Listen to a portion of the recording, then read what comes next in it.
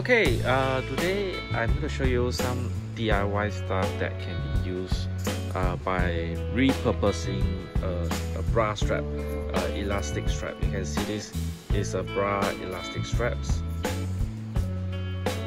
yeah, which is very useful. Um, once you measure the correct uh, length, you can actually do your little holder for your uh, watch straps, which is uh, very often will break off due to wear and tear and with this bra strap you can actually make your own little holder for your watch straps. You just simply get uh, needles and string you know and then just sew it up.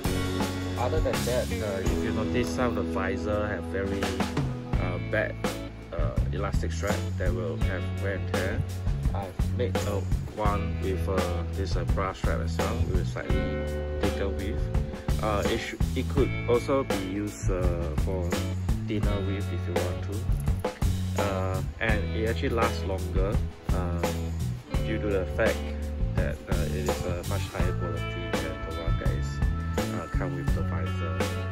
You can reuse the buckle that comes with the visor. Okay, if you are having a sleeping problem, you use the eye cover, which you like a lot, but the straps are very low quality. Uh, I replaced this previously long time ago using uh, uh, the elastic band that uh, I found. You can see it's very easy to uh, actually sew it up and it's not very visible.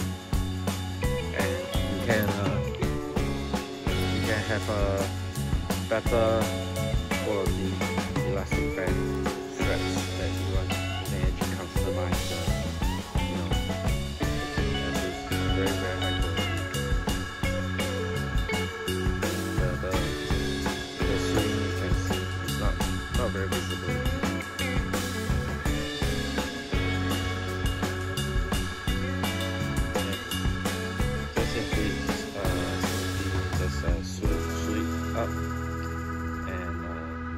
You, will not see uh, the, the, the, this uh, little knots here. So you can do this a little DIY using the bra straps, elastic band, and uh, do your little DIY. Yay!